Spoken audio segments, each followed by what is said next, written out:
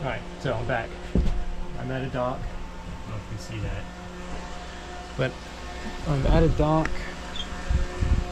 Why that light's on. Oh, I need to turn this. Off,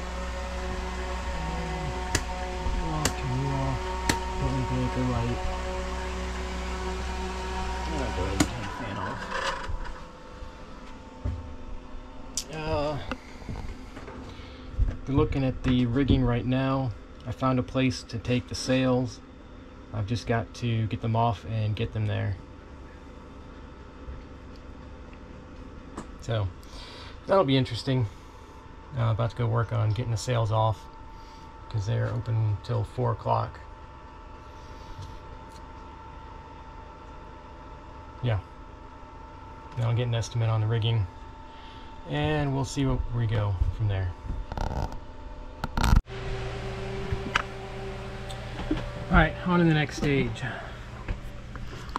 I am now at a slip at the boat yard. Uh, as you can see, I have no sails.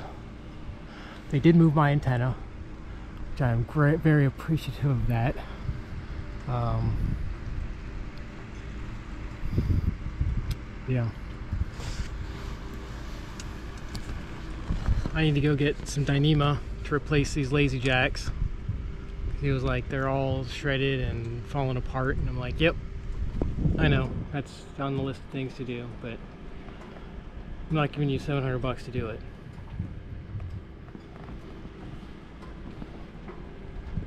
But I am paying almost 2500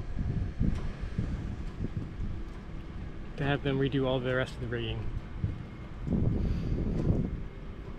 Going to replace the main sheet, or not the main sheet. Going to replace the main halyard, the jib halyard, all, basically all the running rigging, these cloth things over here for the side rigging, uh, they're to replace the anchor light up top and the steaming light with LED ones because they're not LED right now. Um, they're to replace all this, all this green stuff. They're to replace this because it's it's uh, cracked. I don't know if you can see that up there. It's cracked and it's starting to rust coming through, which means at any moment that thing could fly apart and shatter. Plus, I mean, I had to put my own buckle on there that'll probably take off.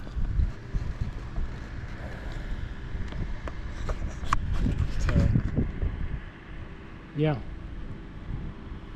Uh, sails, they're going to give me an estimate probably early next week, Monday, Tuesday-ish.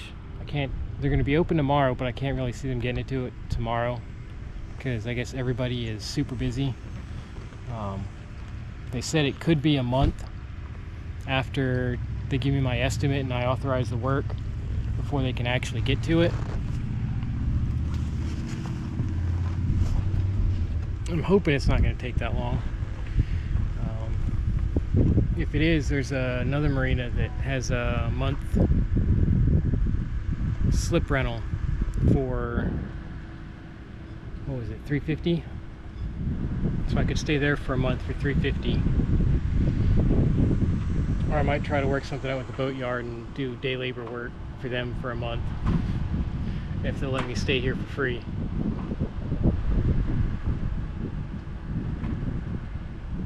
and I'll get some work experience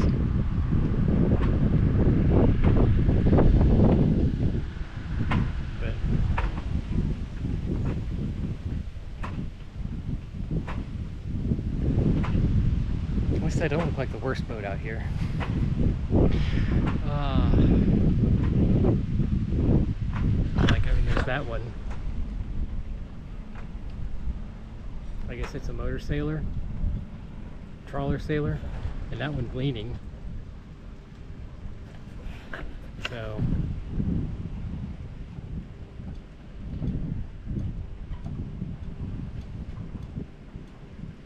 I mentioned the uh, windlass to the guys in the boatyard and they're like, yep, you gotta love the quality work of previous owners.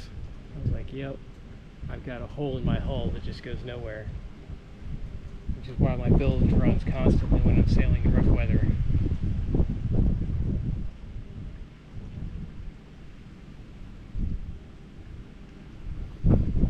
But I knew I was getting myself into, so I'm not completely complaining.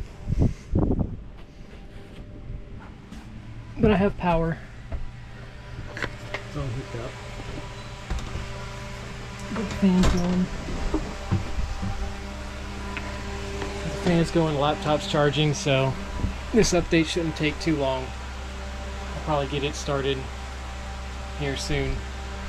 Then I'll go get, uh, I'll make something to eat, go get a shower. Dropping the sails off was a mile there and a mile back. And each sail was probably 50 to 60 pounds.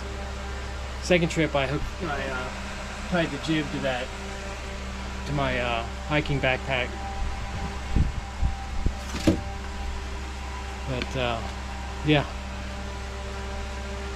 I'm tired. It's been a long day. It's been a long two days.